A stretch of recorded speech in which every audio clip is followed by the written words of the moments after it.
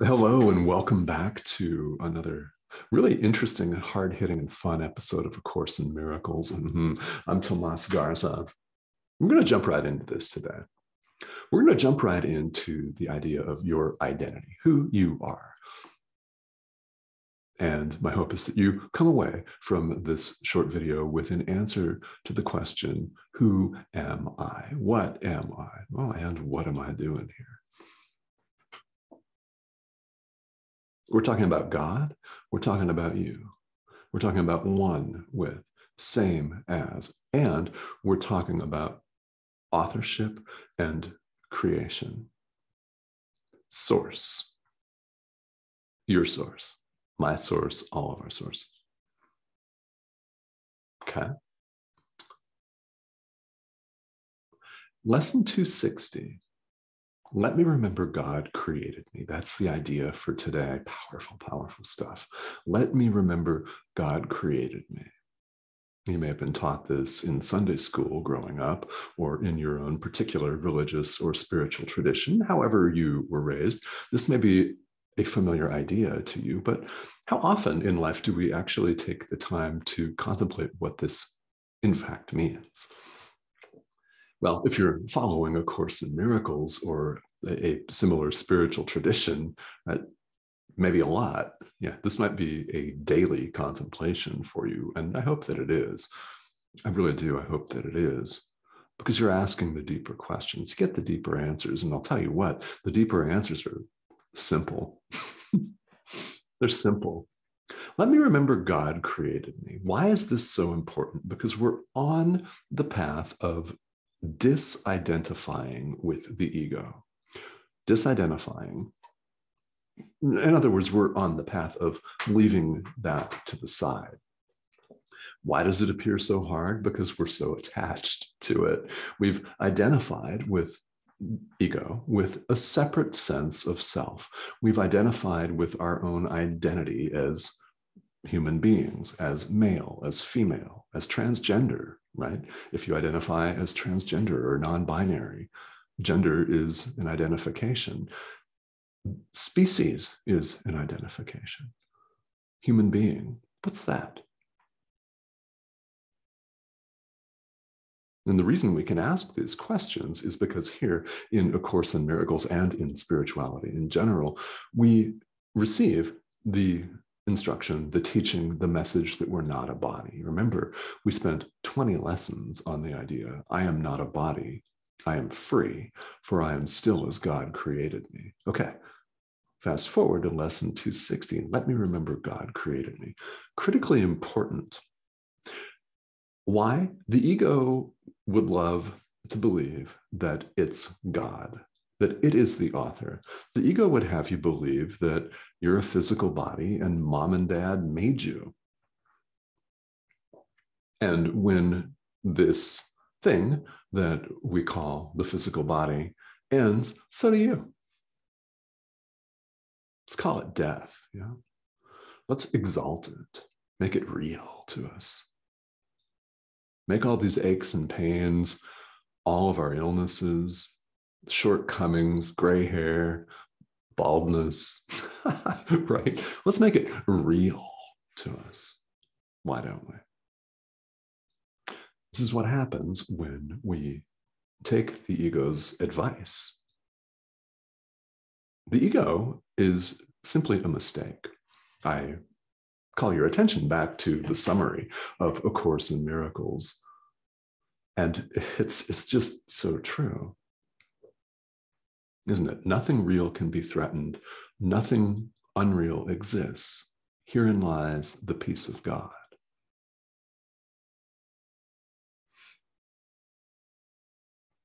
Anything impermanent does not exist in truth. Now, here in the world, we can make really, really cogent arguments that it does because we're subject to the laws of Newtonian physics, why we made ourselves subject to them. Think about the power of your own mind.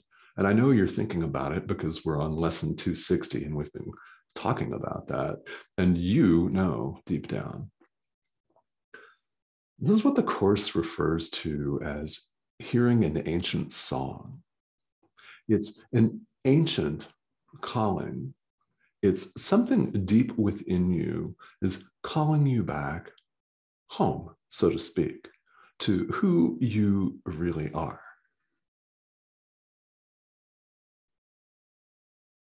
Nothing real can be threatened, nothing unreal exists. Herein lies the peace of God. Recently, in this set of videos, we've spent a significant amount of time talking about our goal, the peace of God, and how experience becomes radically different when we want nothing else. Which, by the way, is not saying don't pursue things here in the world. We've all got to make money. And we're here in the dream, in the illusion. So, you know, we owe it to ourselves to keep ourselves functional while we wake up. We do. Then, if you have clients, right, family members, people that are dependent on you, then yeah, we have obligations. We got to pay the light bill. What we're talking about here in A Course in Miracles is we're pointing at absolute truth. God is. So this should answer your question Who am I? God is. In other words, only God is. Who are you? Yeah,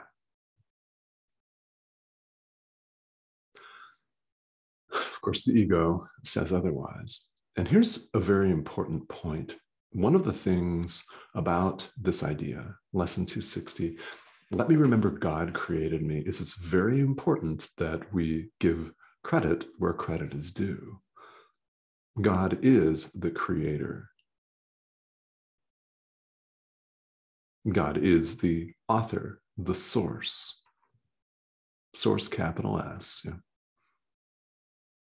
it's very important in our process of letting the ego go, of bringing illusions to the truth, of setting all of our artificially imposed barriers to the presence of love to the side. It's important in all of this journey that we acknowledge that God is our creator. Ego thinks it is the creator. In other words, it thinks it is God and would love nothing more than to take God's place, yet realizes it's completely impossible. The ego rightly fears, and the Course tells us this, that we will abandon it, and we will. That's the only thing that it's actually correct about. So we're all somewhere along that journey. And the very fact that you're interested in A Course in Miracles means you're the end is near. You can't go back. Sorry. Trains left the station, right? Is a very important part of letting go of the ego to acknowledge that God created us, all of us. There's a really important idea in A Course in Miracles ideas leave not their source. What this means in the context of this idea, well, in all ideas, is that ideas leave not their source. We are the extension of God, the Son of God, the thought of God. One of those descriptors may resonate with you more than another, and use it. It's the same. Ideas leave not their source. This means that as the thought of God, we are one with God. This is why and how we can say with 100% confidence that our will and God's will are one. Same. Because we're the same. God created us. We're the extension of God.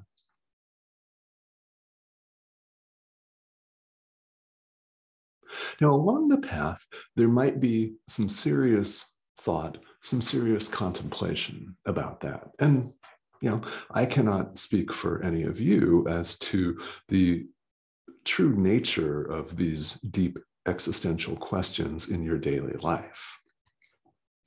It gives a lot of people pause at this stage. Many of us in the spiritual practice world here in the world are quite comfortable up to this point. Quite comfortable getting to a point here where we're still retaining some ego based thought that God didn't create us, that He, and if you prefer she, it, whatever, they're just they're just words. We're comfortable up to a point. And when it comes to the point of giving credit where credit's due, right? Acknowledging the creation, the authorship of God, of us, who we really are, people balk at that. And, and you may have reached that point. I invite you, if you have, to think about it from the perspective of letting go of the ego, of bringing illusions to truth, as we say here in the Course. It's very important that we acknowledge this because uh, you know, the ego could tell you that it's God, and you may have arrived at the conclusion based on all of the verbal math and the thought that you are God. Well, yeah, God created you. Ideas leave not their source. We're all alike. There is no separation of any kind. But so we don't harbor vestiges of the ego's thought system. We give God the credit and acknowledge that He created us. It's allowing truth to be as it is.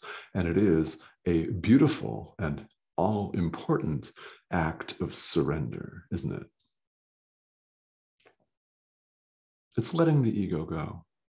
This is what allowing is. This is what the practice of acceptance is. It's what the practice of unconditional surrender is.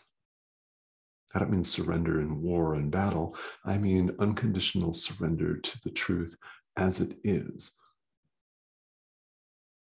This is one of the things that is meant by you're created in God's image. Well, God extends himself, love extends itself.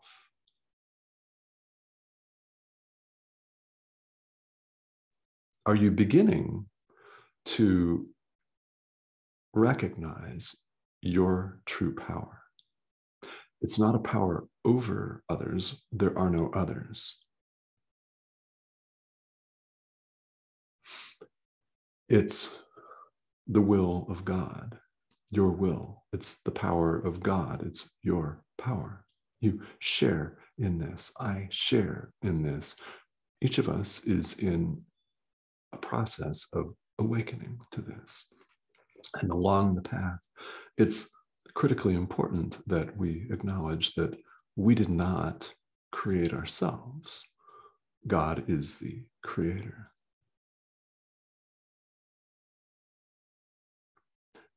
And at the same time, ideas leave not their source.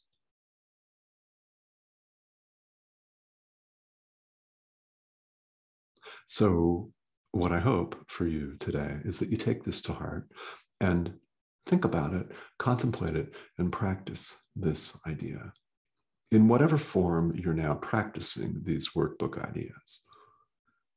It's a big one it's beautiful.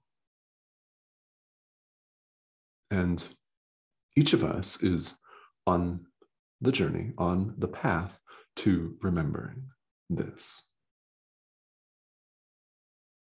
So let's, as we say here in the world, make some significant progress today. In truth, there's no progress to be made, is there? Because God simply is.